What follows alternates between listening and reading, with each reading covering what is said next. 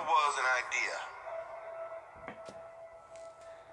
to bring together a group of remarkable people to see if we could become something more. You will know what it's like to lose. Right. Yet to fail all the same.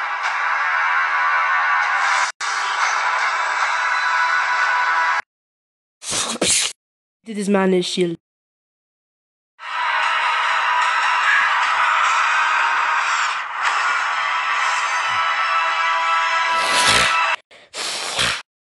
Thing one considers when balancing the universe.